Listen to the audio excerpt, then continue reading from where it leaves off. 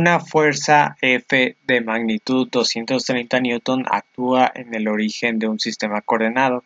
Si se sabe que θx es igual a 32.5 grados, eh, la fuerza en Y, la componente Y es igual a menos 60 Newton y eh, eh, Fz, la componente Z de esa fuerza, es positiva, mayor a cero. Determinen las componentes X y Z y los ángulos ZY y z.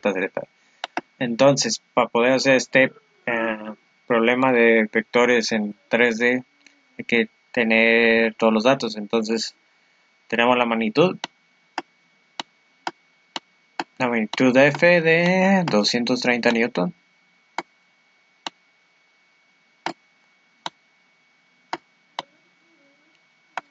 Tenemos θx. θx vale 32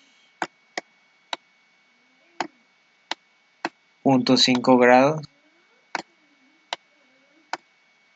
Tengo la componente Y de esa fuerza.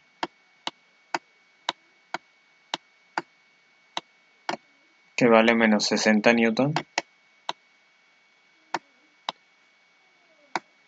Y tenemos que F, el Fz es positivo, ¿no?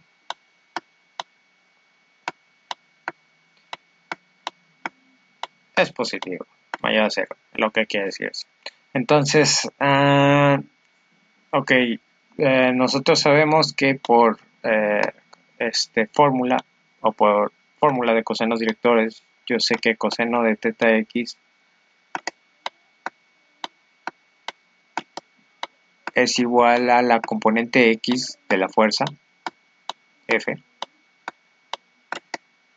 dividido entre la hipotenusa que va a ser F o la magnitud. Por lo tanto, si se fijan, tengo teta x, tengo la, no tengo la componente x, pero tengo f, la magnitud, por lo tanto puedo despejar fx y decir que fx es lo mismo que f por el coseno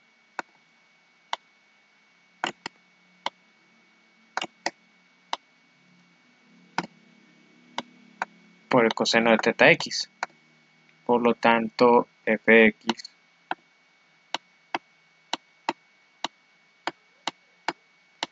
es lo mismo que f, f de 230 newton,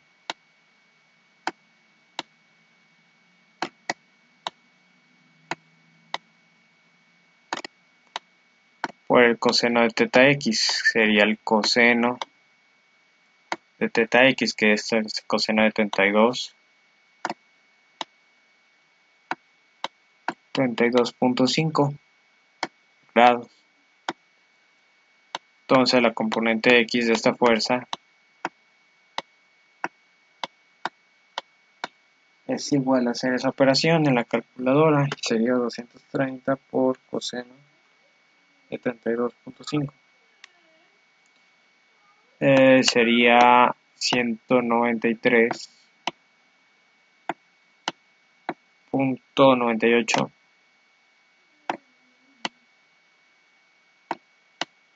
newton.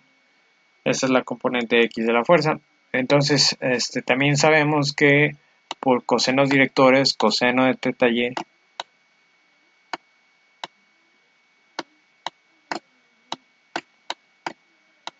es lo mismo que la componente y de la fuerza dividido entre la magnitud del vector. Si fijan, eh, no tengo teta y, pero tengo fy, menos 60. Y tengo la magnitud, 230, puedo sacar el ángulo. Entonces va a ser coseno de teta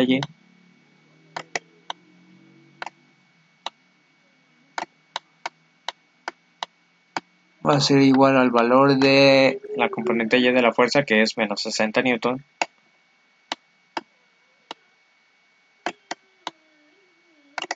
Menos 60 newton dividido entre la fuerza que va a ser 230 newton. O la magnitud de la fuerza ¿no? por lo tanto es una ecuación con una incógnita que es y. Como es coseno aplico al coseno y me va a quedar que teta y no es más que el arco coseno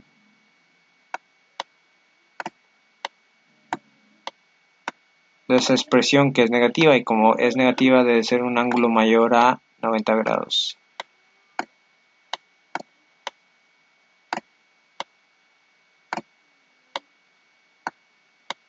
Entre 230 newtons.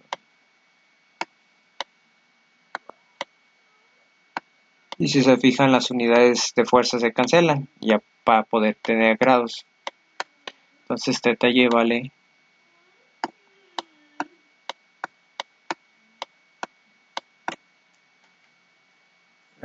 va menos 60 entre 230, le aplico a cocoseno. Y al aplicarle al cocoseno va a quedar que el ángulo es 105.1217.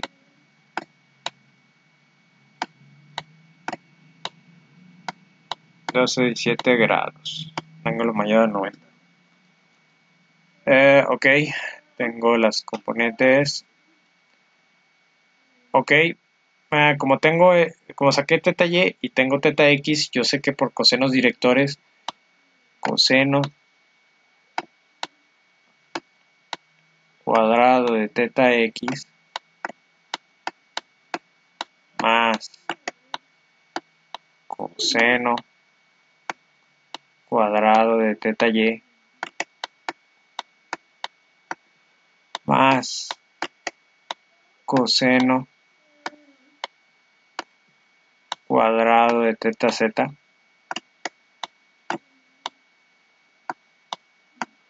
por cosenos directores esto es igual a 1 entonces como tengo teta x y ya saqué teta y puedo sacar teta z.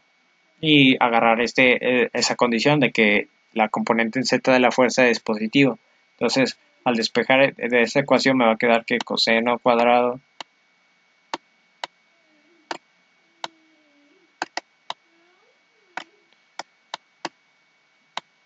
en z va a ser igual a 1 menos coseno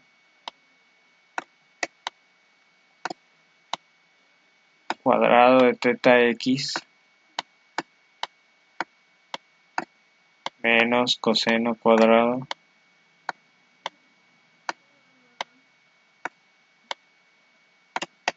de teta y. Este está sumando, pasa restando, este está sumando, pasa restando. Y para despejar voy a sacar raíz y me va a quedar que el coseno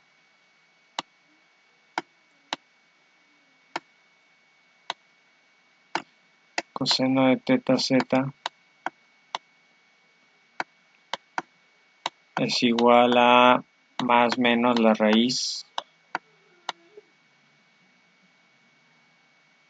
de esa expresión que va a ser de 1 menos coseno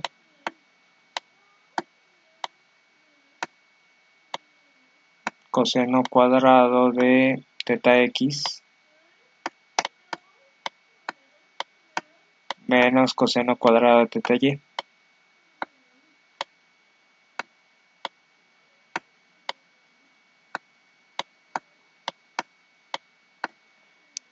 Por lo tanto, como fz es positivo, vamos a agarrar la raíz positiva.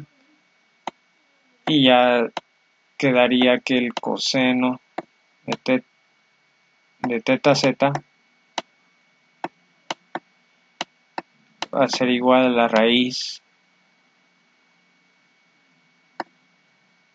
de 1 menos coseno de teta x sería eh, coseno de 32.5 paréntesis coseno de 32.5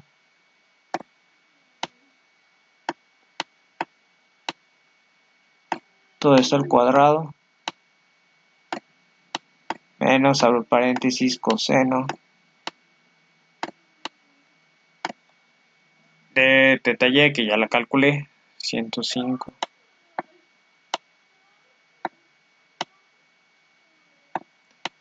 punto 1217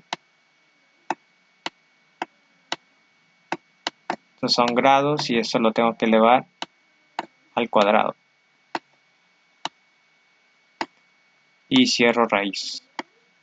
Entonces al hacer esta operación me va a quedar que coseno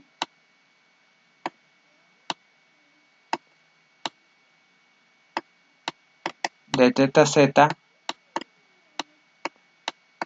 va a ser, vamos a simplificar, va a ser 1 menos coseno de 32.5, esto lo elevo al cuadrado, menos coseno de 105.1217 menos coseno de 105.1217 esto lo elevo al cuadrado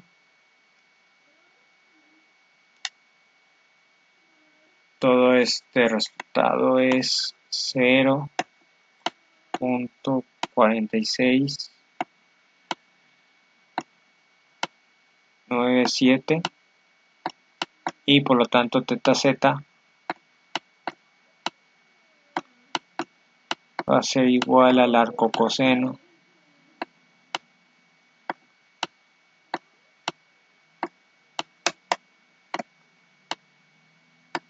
al arco coseno de 0.46 97 por lo tanto teta z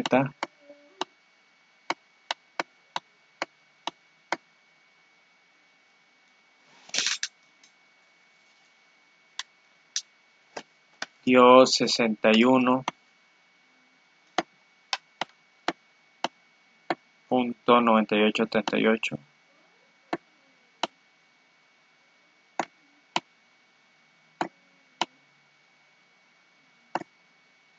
grados.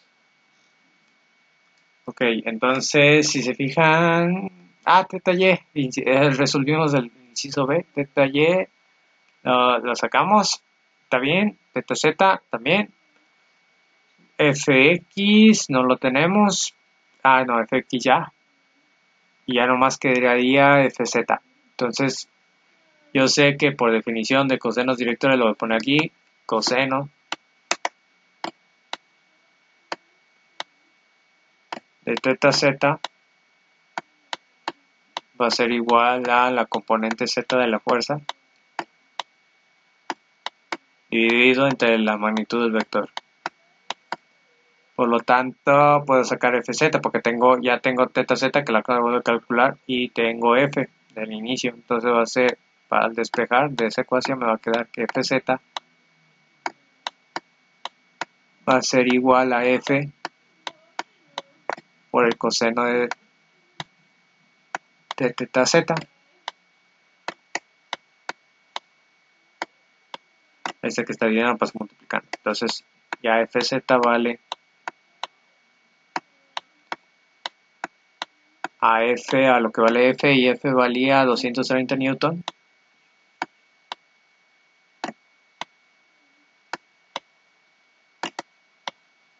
Por el coseno de teta z que vale 61.9838. 9, 8, lo voy a poner acá. 9, 8, 38 grados. Entonces ya la componente Z vale 230, 130 por coseno de 61.9838 grados.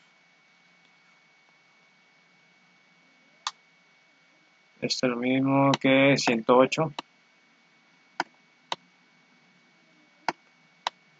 punto 03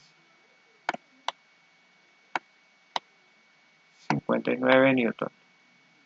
Luego el autor lo, redondea pero está bien. Entonces eh, ya sacamos fx dio 193.98 newton sacamos fy bueno fy ya nos daban menos 60 newton fz lo sacamos 108.03 59 newton. Teta X ya no lo daban. Teta Y lo calculamos que dio 105.1217 grados. Teta Z nos dio 61.9838 grados. Entonces, si se fijan, creo que ya lo acabamos. SFX, FZ, ¿sí? teta Y y teta Z. Ok, vamos a comprobarlo con el autor. Voy a quitar más 2.83. Este es el 83. Okay. Ah, si se fijan, mmm, eh, lo hace muy similar a lo que hice. Le sacó que FX sea aquí. Se equivocó el autor. Yo creo que al momento de pasarlo, porque aquí ya lo pone negativo, pero en realidad a nosotros nos dio positivo en esta parte. Entonces, eh, ahí lo voy a suponer que estamos bien. 193.98. Este es el, el, resultado correcto, lo que nos dio. Eh, FZ, eh, igual. Eh, a nosotros nos dio 108.0359 y aquí 108. Entonces estamos bien. Ahora TTY. TTY, este, sí, nos dio a nosotros 105.1217, 105.1, que es lo, mismo. Y a nosotros en TTZ nos dio 61.98, 38, que el autor lo redondeó a 62. Entonces, este, estamos bien.